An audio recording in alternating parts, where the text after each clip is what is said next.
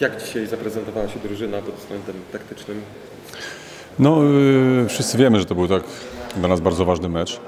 E, Cały ten okres przygotowawczy miał wyglądać tak, że to, to będzie bardzo intensywna praca, ale mieliśmy być przygotowani na tydzień przed ligą właśnie w takim meczu jak dzisiaj i pokazać kibicom, to dla nas było bardzo ważne, że jesteśmy gotowi, jesteśmy przygotowani, że po- potrafimy utrzymać wysokie tempo gry i myślę, że dzisiaj kilka akcji było takich już naprawdę e, na wysokim poziomie. Cieszy również to, że nie straciliśmy bramki, graliśmy bardzo uważnie, bardzo skoncentrowanie. E, W zasadzie można powiedzieć, że nie popełniliśmy żadnego błędu w defensywie e, i to bardzo cieszy.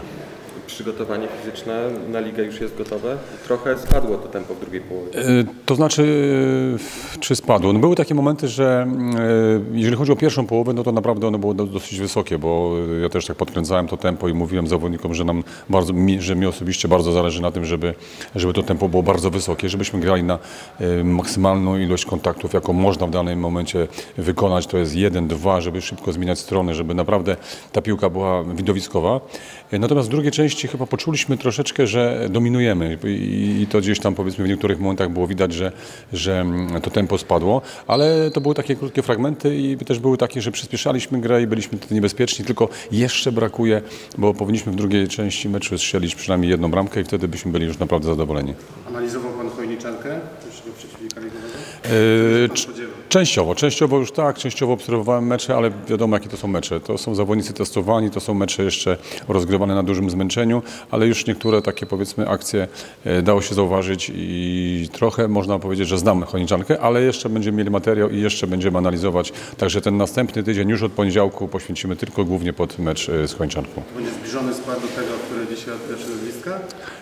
Przez 7 dni na pewno coś się zmieni. Yy, Myślę, że dzisiaj też yy, warto to odnotować, że Niko Kata zagrał naprawdę yy, dobry mecz. To był zawodnik, który gdzieś tam w środkowej strefie boiska sobie bardzo dobrze radził, dobrze rozgrywał, dobrze brał udział w defensywie i być może to też zawodnik, który wystąpi w tym najbliższym meczu. Co się wydarzy? No, na pewno od poniedziałku wró- wróci też Diallo. To jest też zawodnik bardzo konkretny, to jest obrońca, to jest bardzo szybki, dynamiczny i być może on też wzmocni naszą, naszą linię defensywy.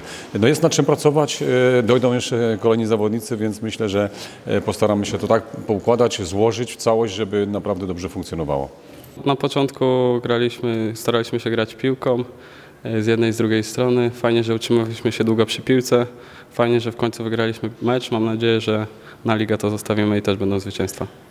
W drugiej połowie już troszeczkę tempo spadło meczu. Jak z przygotowaniem fizycznym? No na pewno spadło tempo, bo, bo tydzień był ciężki, ale mam nadzieję, że świeżość przyjdzie na ligę. No właśnie, za tydzień pierwszy mecz. Jak się czujecie przygotowani fizycznie, mentalnie? No na pewno jesteśmy dobrze przygotowani, czekamy na ten pierwszy mecz i oby też był wygrany tak jak ten dzisiejszy. Analizujecie już rywala? Jeszcze nie, jeszcze nie, jeszcze nie. Trenerzy pewnie zanalizują. W tygodniu będziemy mieli odprawę i będziemy gotowi na pierwszy mecz ligowy.